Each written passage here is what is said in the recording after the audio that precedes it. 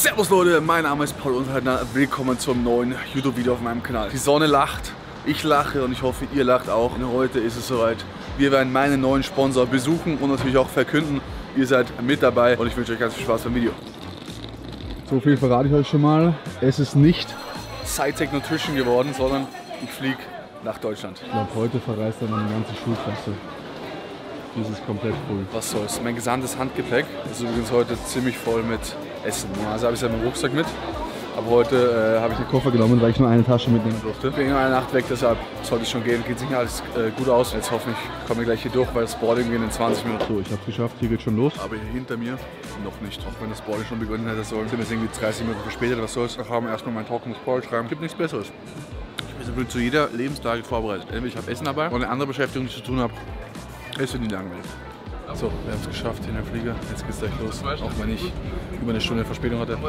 Macht nichts. Muss Heiko gleich ein bisschen auf mich warten. Platz, ich schwöre, ich hatte noch nie so wenig Beinfreiheit. Ich weiß nicht, woran das liegt oder ob das bei Eurowings irgendwie Standard ist, aber ich schwöre dir. Auch jeder andere muss hier seine Beine rausstrecken, weil es so eng ist. Was soll's. Ich versuche jetzt erstmal zu schlafen, die Zeit gut zu nutzen und wir sehen uns gleich wieder. Wir sind gelandet.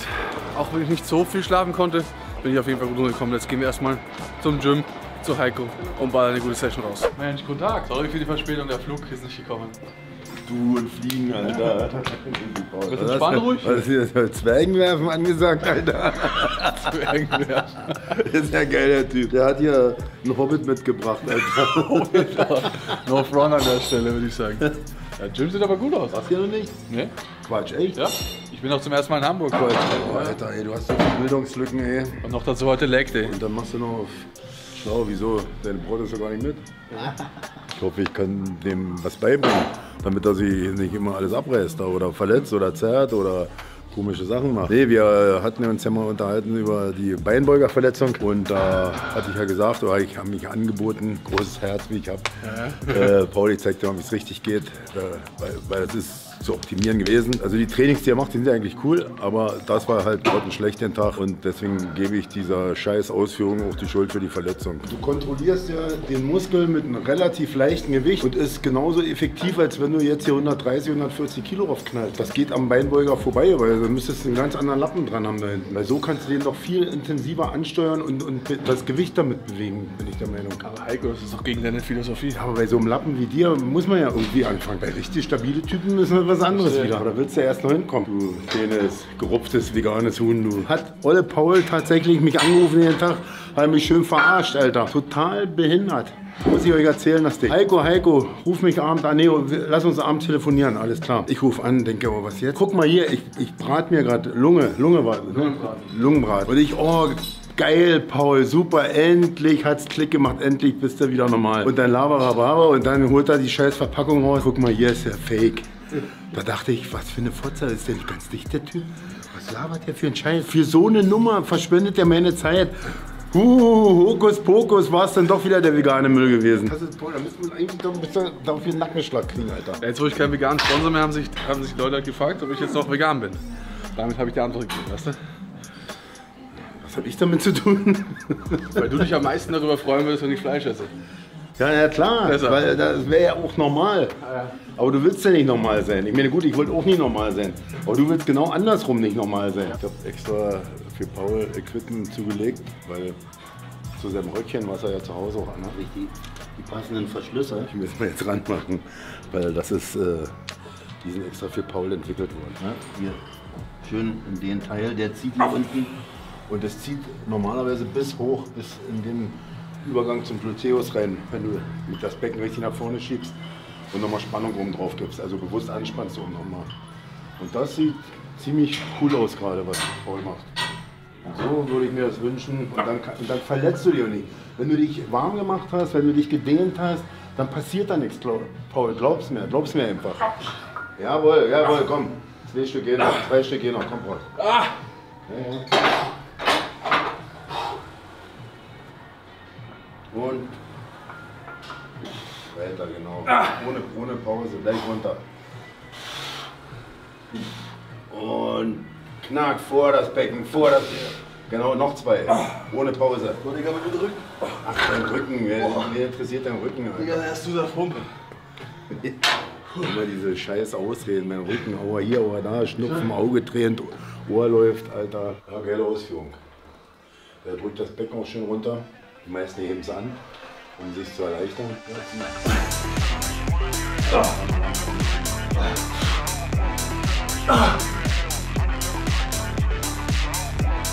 Wie findest, du, wie findest du denn das Gerät mit der Kette und so? Geil aus. Läuft eigentlich gut, ne? Ja, ja, das ist richtig Ich finde das auch, also die alten Sachen mit den Ketten, die, die, die, auch die Übersetzung und so, das Ja. ist eigentlich total effektiv. Weil ich auch so die alten Maschinen auch bei vielen Sachen.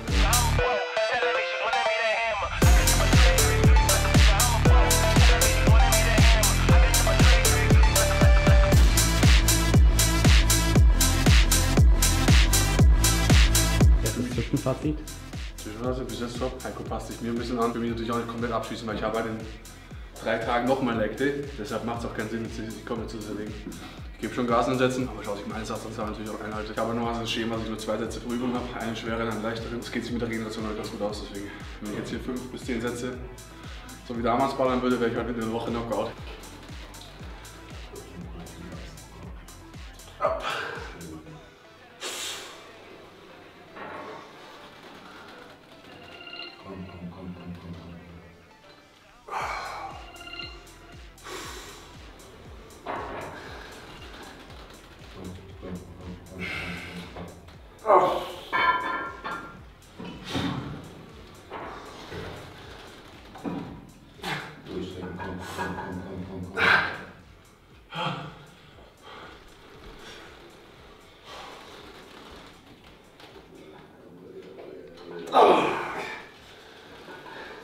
Durchdrücken, durchdrücken, durchdrücken, durchdrücken. Und kurz. Ich dass das langsame Training meiner Ausführung gut getan hat. Dass ich alle Muskeln ein bisschen besser spüre und jetzt wieder ein bisschen, bisschen schneller werden kann. Ein bisschen mehr Gewicht haben. Daran, weil du ein veganer Fisch bist, Alter. Deswegen. Vielleicht. Ja, das war. Das war auch ein veganer Fisch. Ja. Irgendwann das sieht fast aus wie Photoshop. Sicher, nee, das, der hat mich bei, zu meiner Deutschen unterstützt. Ah. Äh, Jean-Pierre Fuchs mit Klaus zusammen. Also, Sieht krass aus. ja, der war ein Monster damals zu der Zeit. Das war brutal. Hier. Komm, komm, komm, sieht gut aus, sieht wirklich gut aus. Komm, fünf, sechs, sieben, acht, hoch, neun und zehn rein. Wir werden ausgegangen. Brennen zerlegt dich so, Junge. Ja, das ist doch das Geile. Ist richtig so über dem Knie jetzt angeschwollen. Junge. Ja, die 20 Reps oder 15, 20 sind halt hart. Würde ich aber im, im Unterkörper generell empfehlen. Im zweiten Satz mache ich es nochmal so ein bisschen mehr. Erster ein bisschen schwerer, zweiter ein bisschen leichter. Was ist die Story zu der verbotenen Stange?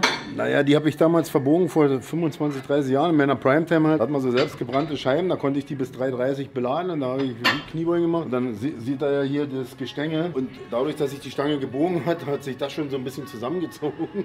Und das ist die Story. Das ist, Noch schwerer geworden. Das ist mein Gewicht. Die Einstellung müsst ihr haben, wenn ihr ins Gym geht. Alles vernichten, Alter. Mensch und Material. Der Mensch muss gewinnen.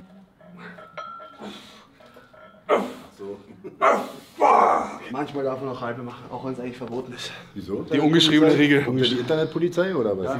New School Polizei. Aber ich habe ich hab auch schon gehört, da hast du dann nur Hofknickse und so. Aber die verstehen immer nicht, dass wir ja, wir wollen ja gar kein Powerlifting machen, wir wollen ja eigentlich Bodybuilding machen. Und dass da doch ein Unter, das sind genau die Leute, die dann immer den Sport nicht so richtig begriffen haben. So mit, ja, du musst ganz runtergehen, mit dem Arsch den Boden abwischen. Fuck you, das ist Bullshit. Ja, gut. Und Druck. Komm, komm, komm, komm, komm. Kriegst du bestimmt noch zwei hin, oder zusammen.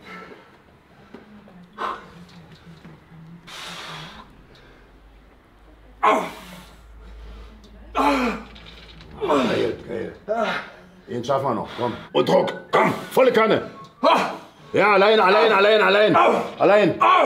Sehr gut, sehr gut, Junge. sehr gut. Alter. Gleich verkünde ich schön mit Wackelbein den neuen Sponsor. Perfekt. Den wichtigsten Teil haben wir durch. Die Beine sind aufgepumpt. Adduktor jetzt vor allem zum Schluss. Jetzt haben wir noch mal ein bisschen Waden. Dann haben wir es auch geschafft. Die Quad-Sätze, die waren auf jeden Fall hart an der Multipress. Aber so kenne ich sie von Heiko. fand es jetzt nicht so spannend, aber das Ding war halt, Paul hat ja vorher schon eine Menge Training absolviert und da ging es ja einfach, das war ja nur Intensitätstraining, wir sind ja nicht auf Gewicht oder irgendwie auf äh, Max-Reps oder große Pyramide gegangen. Einfach den Muskel treffen und das ist ihm oder uns heute gut gelungen, finde ich. Jetzt klatscht er seine Storchenwaden da noch ein bisschen, versucht er was draus zu machen. Darf ich dir mal einen Trick verraten? Hast 50 Euro? Nein. Für den Trick meine ich. Nein. Guck mal, wenn du, wenn du oben bist, drück mal hoch, so hoch du kannst. Halt mal oben. Jetzt geh mal leicht in die Beuge. Le leicht. Und jetzt drück mal voll nach, nach oben. Voll, so hoch du kannst. Genau. diesen Move, diesen Move. Ich dachte gerade, da kommt ein Krampf. Ja, ne? Also gehst hoch, beugst gleich ein und dann schießt du nochmal bis ganz oben. Dann wachsen die Dinger auf. Und ganz hoch, jawohl. Boah, ich merke, das wird so Muskelkater geben hier außen. Wirklich krass. War mir ein Vergnügen wie immer. Mir auch, Heiko. Heute mal ein anderes Beintraining. Auch jetzt gar nicht so lange, ich glaube. Ein entspanntes, war relativ entspannt. Nicht King Kalle-Style, ein, zwei Übungen vielleicht ein bisschen abgewandelt, aber gut. Und jetzt geht's zur nächsten Station.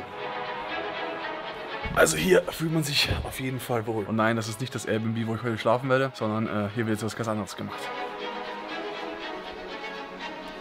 Das war die offizielle Unterschrift beim neuen Sponsor bei ESN. Steht jetzt eine neue Zukunft bevor. Ich hoffe, ihr seid alle an meiner Seite und wir rocken das hier gemeinsam. Ihr supportet mich weiterhin auf meinem Weg und es wird auf jeden Fall eine absolut geile Zeit. Ich freue mich wirklich sehr, vor allem die veganen Produkte nach vorne zu bringen. Falls ihr da auch konkrete Ideen habt, könnt ihr mir die gerne in die Kommentare schreiben und auch per Nachricht schicken. Da ist auf jeden Fall einiges geplant. Ich habe richtig Bock drauf, freue mich auf die Zukunft und ich hoffe ihr auch. Und ihr könnt natürlich ab jetzt mit Code Paul maximal sparen. So, wir nehmen jetzt ein bisschen das Labor unter die Lupe, schauen, was hier für neue vegane Produkte an den Start gehen und checkt das einfach mal aus. Weil die haben einfach im Büro oben drüber Quality Labs und da werden die neuen Produkte ausgetestet und dann natürlich auch verschickt. Wir sind jetzt im hauseigenen Labor. Hier wird natürlich alles geprüft auf Qualität, auf Inhaltsstoffe und vieles weitere, damit das natürlich auch aufrechterhalten werden kann. Und äh, natürlich auch nach weiteren Produkten geforscht. Und ich würde sagen, wir forschen und mischen jetzt auch ein bisschen. Wir dürfen jetzt hier natürlich nicht allzu viel zeigen, um keine Gerätschaften zu verraten. Aber ich habe hier, glaube ich, schon mal Kurkuma und Beta-Carotin bekommen und die Farbe und der Geruch, der wirkt auf jeden Fall anabol. Also wir können es ja mal hier hinlegen und dann einfach so ein bisschen ziehen. Sind wir durchgetestet, würde ich sagen. Sieht doch gut aus. Super. Ja Leute, Entscheidung ist getroffen. Die letzten Wochen habe ich auf jeden Fall mir viele Gedanken gemacht, wo ich hin möchte, wie es weitergehen kann. Und ich bin der festen Überzeugung, dass ESN die richtige Entscheidung für mich war. Habe natürlich die Verträge und auch die einzelnen Dinge, die da drin stehen, vorher schon abgesprochen. Das war jetzt nichts Neues für mich, was ich unterschreiben musste, wo ich einfach dachte, okay, ich unterschreibe jetzt einfach. Sondern da natürlich immer bei Verträgen genau darauf achten und äh, alles miteinander abstimmen, damit beide Parteien zufrieden sind. Das sind wir auf jeden Fall. Es kommt was Geiles auf euch zu. Ich freue mich extrem drauf. Das Team kenne ich ja auch schon teilweise, äh, mit denen ich allen cool bin. Und ich glaube, da gibt es auch ein paar coole Reisen dieses Jahr und natürlich auch geilen Content für euch. Deshalb freue ich mich, wenn ihr das Ganze natürlich auch supportet.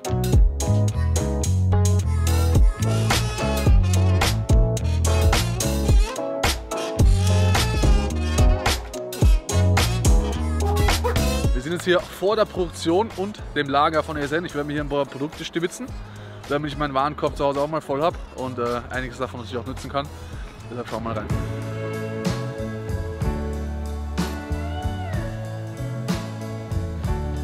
Ich habe mir jetzt die Produktion ein bisschen angeschaut, aber ich glaube, ihr habt davon auf jeden Fall schon viele Videos gesehen und ist jetzt auf jeden Fall nicht so besonders, aber krass zu sehen, wie viel hier wirklich dann Hand in Hand gemacht wird und für euch dann zu Hause ankommt und hoffentlich hier bald auch noch ein paar mehr vegane Produkte ich für euch rausballer. Ansonsten habe ich mir jetzt aber erstmal mit Protein eingedeckt. Jetzt geht es aber erstmal noch ein paar mehr Sachen zu holen. Deshalb ins Lager noch mal 30 Minuten weiter. Da holen wir uns ein paar Sachen. Habe mich hier schon mal schick gemacht. Ist im Lager mit Sicherheitsschuhen. Die sind auf jeden Fall sexy. Ich habe schon ein Kompliment bekommen, dass die besser sind als meine eigentlichen Schuhe. Halte ich aber für ein Gerücht. Na, na, na. Eine Lagerhalle von vielen. Es gibt, glaube ich, eine, die ist viermal so groß. Die sind 10.000 Quadratmeter. Packmaß, würde ich sagen. Ah, hier ist schon mal eine Probe. Jawohl, das sieht doch gut aus. Brauche ich je nachher ein paar. Haben wir den Geschmack Salted Caramel Flavor.